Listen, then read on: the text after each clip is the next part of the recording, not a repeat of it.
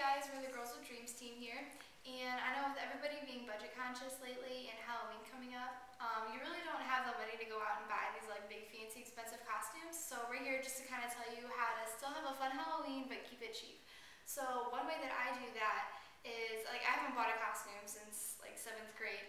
Just think of like something fun and unique that'll really like you know you can have fun with, and then go through your closet and like find your old clothes that you never wear and like build your own costume. It's kind of like a game. Like go out to Goodwill, go out to like the sales racks at the mall, and because you can get things for like two dollars, and that's not clothes that you'd ever wear like in a normal outfit, but you can make really fun costumes with that. So just like don't be f- afraid to go to some crazy store and find you know weird striped tights or weird shoes. I mean it's really fun. So.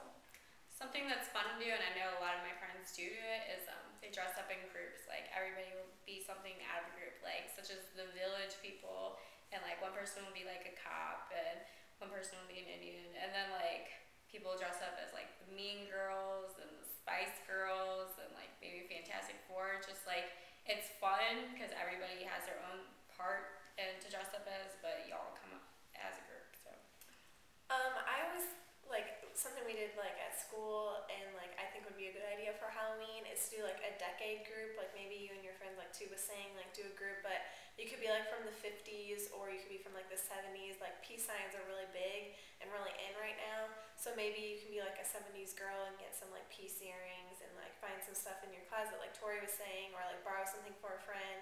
Or like maybe you guys can each be from like the 50s, someone can be from the 60s, and you can like even watch like make it fun and like watch movies that are from those decades and come up with ideas to make up a costume.